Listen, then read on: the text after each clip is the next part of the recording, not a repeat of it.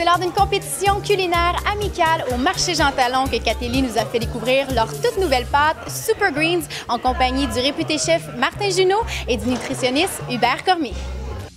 Parle-nous de ce petit nouveau sur le marché, ces fameuses pâtes qui se nomment Super Greens. C'est en fait euh, des pâtes euh, entièrement naturelles, euh, faites de blé agranti, canadien à 100% Et puis, on y a ajouté ben, cinq légumes verts. Donc, il s'agit de brocoli, de persil, de choux frisés, d'épinards et de courgettes. Donc, euh, vraiment des pâtes euh, très nutritives, pleines de fibres, évidemment, et puis euh, aussi très riches en potassium, en magnésium, en fer. Et aujourd'hui, vous avez décidé de faire ça sous forme compétition. On a tous participé. On a fait des pâtes aujourd'hui. On s'est essayé à faire des pâtes, on va dire. On s'est dit que ce serait très amusant pour lancer le produit, en fait, de faire une petite compétition euh, amicale, évidemment, culinaire. Parce qu'en fait, le but, c'était de- d'essayer les pâtes, de cuisiner avec, de les goûter.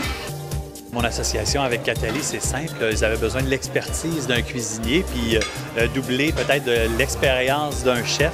Euh, ben, d'un chef, pas d'un chef, d'un chef de famille dans ce cas-ci, d'avoir quelqu'un qui est capable de proposer des recettes pour des familles, qui vit ça au quotidien également, puis qui sait que c'est pas toujours évident d'arriver avec des, des idées de recettes, de plats originales, en fait, et puis en sorte que, faire en sorte que les enfants aiment ça. En plus, ça, c'est très difficile. La compétition aujourd'hui a été féroce. Une compétition très féroce, mais comme toutes les compétitions culinaires, j'imagine. Là, dans ce cas-ci, il y avait cinq équipes. Euh, ils devaient tous travailler les ingrédients de la boîte noire. Il y avait chou rouge, il y avait des noix de Grenoble, il y avait du fromage Valbert, il y avait du citron et évidemment des pâtes Super Greens. Et puis, ben, après ça, il y avait un petit budget pour aller chercher d'autres trucs, des protéines ou des légumes qu'on avait envie de rajouter.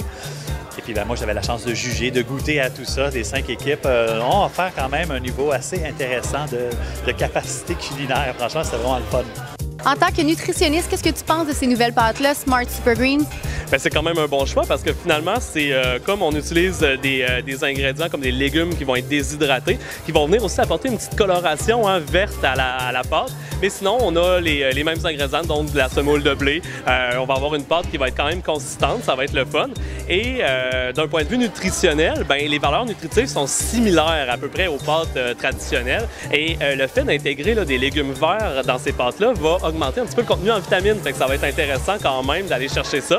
Moi, ce que je suggère, puis c'est vraiment le fun parce qu'aujourd'hui, dans le cadre de la, compétition culinaire qu'on a eue, c'est que les équipes ont vraiment utilisé beaucoup de légumes. Donc, on met une belle portion de pâte, environ une tasse par personne, et on gonfle le tout en utilisant des légumes comme du brocoli dans ce cas-ci. Euh, L'équipe gagnante a utilisé du brocoli, euh, c'était vraiment le fun, du chou rouge, l'avocat. Donc, euh, l'avocat, même dans la composition de la sauce, hein, fait que ça, ça donne une sauce qui est ultra crémeuse. On se garde un petit peu d'eau de cuisson pâtes, et là, on va avoir, on mélange ça avec une purée d'avocat. On peut même mettre nos noix dans la sauce, passer ça au robot, avoir une sauce ultra onctueuse donc, euh, et nutritive.